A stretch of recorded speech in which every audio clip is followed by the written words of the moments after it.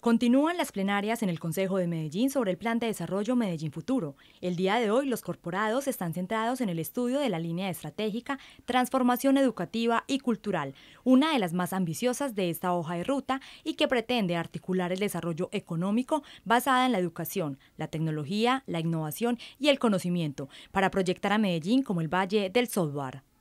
Tres aspectos que consideramos fundamentales en esta línea estratégica. Por un lado, la resignificación y repotenciar los proyectos educativos institucionales con un enfoque en transformación curricular.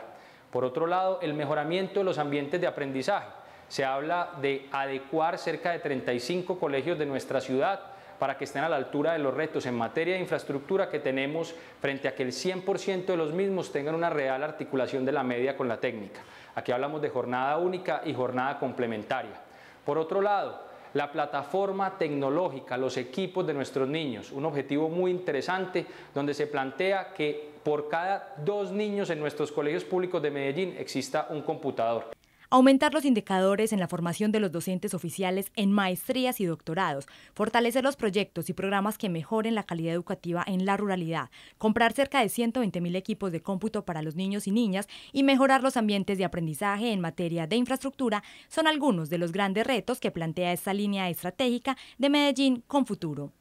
la consolidación del Valle de Sofar en la ciudad de Medellín. Un tema que el Consejo y el señor alcalde ha tenido como una idea prioritaria a trabajar a partir de la fecha. Expertos en transformación educativa y emprendimiento social han acompañado esta sesión del Consejo con el fin de brindar herramientas que ayuden a cumplir las metas de una forma más eficiente y articulada. Estamos invitando a expertos que acompañen esta discusión y la estamos llevando al territorio para que los principales actores de nuestra sociedad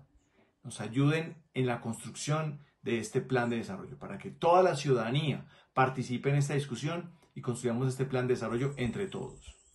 Estamos discutiendo la línea 2, que tiene que ver con la transformación educativa y cultural, que abarca desde el programa de buen comienzo y atención a mamás gestantes hasta la educación postgradual pasando por la cultura ciudadana y las diferentes manifestaciones artísticas.